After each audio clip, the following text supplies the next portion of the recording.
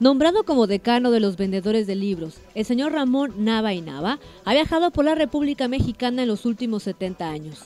Menciona que entre su colección cuenta con textos de cronistas bajacalifornianos que serán puestos a la venta del primero al 10 de diciembre en el pasaje Rodríguez en Tijuana. Trato de que ustedes rescaten su pasado histórico, que traigo aquí algo para mostrarle a, a su público. Hay esto. Yo conocí aquí en 1950 vendiendo libros sobre las tres Californias. Y eso no soy, eh, eh, me convertí sin querer en el decano de libros en México. Yo empecé a vender libros en el Distrito Federal en 1946, llegué al Distrito Federal en 1942. Para los historiadores, el encontrar libros que hablen sobre Baja California en ferias de esta naturaleza es importante, pues nos habla del interés de don Ramón por conservar el acervo de esta zona.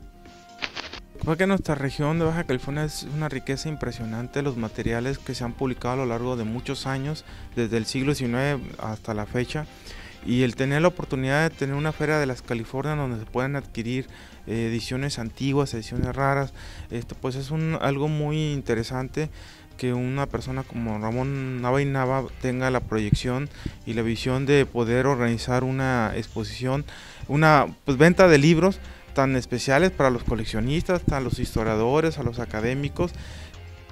Curiosamente, don Ramón es autodidacta. Poco a poco empezó su interés por la historia y ahora asegura conocer de memoria los límites, nombres y fechas que marcaron la historia, pero sobre todo resalta la importancia de la lectura. Eh, em, empecé a, viajar, me llamaba la atención por Yucatán y por ahí en Mérida me consigo unos libros muy raros sobre San Luis Potosí. La historia de San Luis Potosí de Manuel Muro. Para Manuel Muro la fuente fue la iglesia. Manuel Muro fue el padre de, la, historia de San Luis Potosí. Y para Muro la, fuente fue la iglesia. Entonces, por allá los consiguió muy baratos en medio de los tres tomos y los traje a Luis Potosí.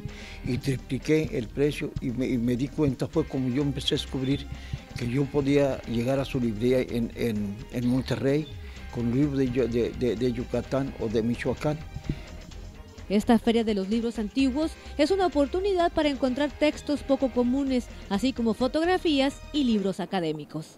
Para Hola Californias, Ada Mitre.